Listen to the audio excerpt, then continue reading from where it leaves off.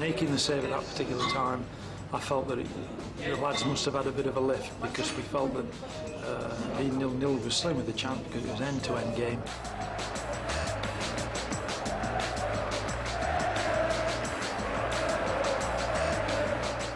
Bobby said, uh, try and get over the bank so you don't give any silly corners away.